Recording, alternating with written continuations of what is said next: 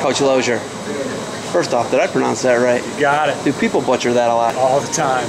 All right, you're here at C3. New job. Congratulations, by the way. Thank you. How is the move from? Did you live in Connecticut, by the way? I did.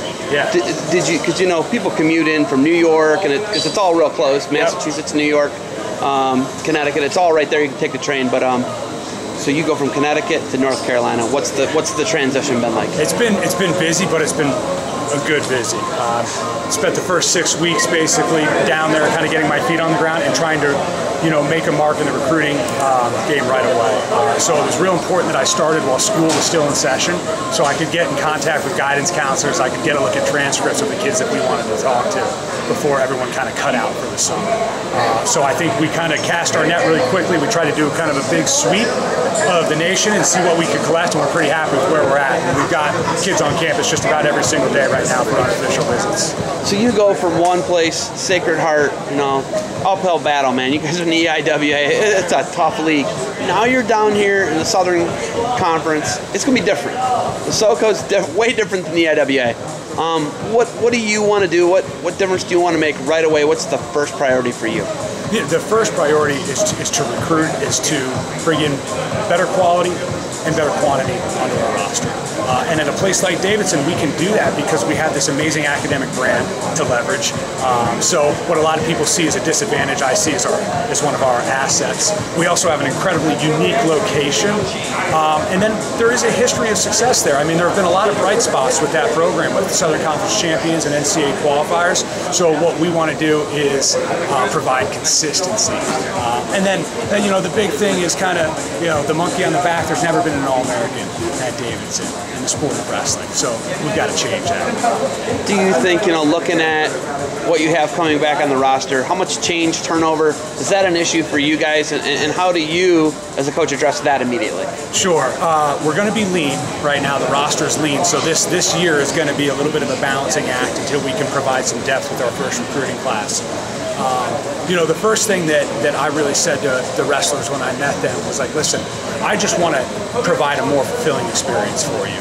However, I can do that and align it with your personal goals, I'm here to help you. I mean, basically, as a coach, my job is to work for you.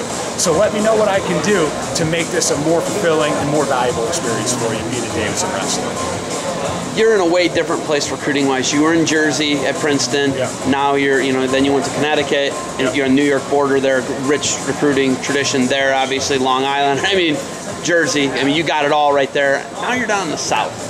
What do you do recruiting wise? You're here at C3 for a reason. It's not like you landed here by mistake. Um, what are you looking for recruit wise? Yeah, I think, you know, we are able to recruit nationally, again, because the academic brand um, and, and that's helpful to us, but we also want to we, we want to leverage our position where we are regionally. And I was saying to the group of guys when we started here, I don't think there's an area in the country that's experiencing more growth um, and improvement in, in, wrestling that Georgia and the surrounding areas right now. So we definitely want to make ourselves a player in this market. And you know, North Carolina is interesting. There's like a ton of colleges that have wrestling in North Carolina. So it's you know it's a competitive environment down here. They're good kids in the South, they're gonna they're gonna be getting hit at from a lot of different colleges. Because you have your ACC schools, right? You have your SoCon schools, and then you have D2 and AI schools as well. North Carolina has the second most D1s, I believe. I think so. Yeah, because PA's got the, the most. Right. Um, in looking at it, uh, what's the, the move been like for your family? You know, you go from the East Coast where there's snow, now you come down to Charlotte, North Carolina. What is that culturally like for you and your family at least? It's a real positive. So, kind of the story goes like this. I came to Davidson for the first time in 2014 when I was the head coach at Sacred Heart. We had a dual meet, and it was a Sunday afternoon duel in the middle of February had gotten my team ready. Everybody was on weight, had some time to kill, so I threw on a pair of running shoes. It's like 65 degrees in February, and I went for a run around campus. And within like a minute, I was just totally hooked. The place is gorgeous, and it has an incredible tradition in history. It was founded in 1837. So then I break off into town, and my feelings of um, being connected to, to Davidson are only compounded because the town is fantastic, and it's right on Lake Norman in North Carolina. So at that point in time, I kind of said, wow, like I loved where I was at Sacred Heart. I really did. But I was just going to keep my eye on Davidson. And if it ever were to open up, I'd be very interested in pursuing it. So then this crazy sequence of events happens, and I'm just really, really grateful to have the opportunity to be in North Carolina and to be at Davidson. And my family is finally down with me. We were separated for about six weeks during the transition. All right, we got some guys that are about to be doing some working out. You're here to recruit. You're going to be watching some stuff. You got anything else for me?